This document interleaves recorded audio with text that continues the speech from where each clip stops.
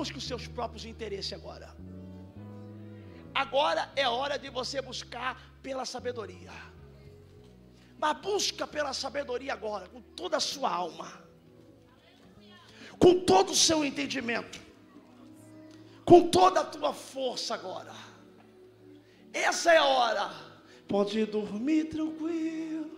Quando você acordar, vai ter surpresa.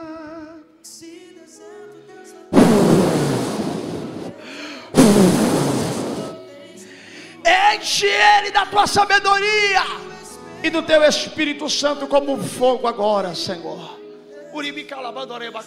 Ele é forte, ele é forte, só que mais forte do que ele é o teu anjo que está na frente dele agora.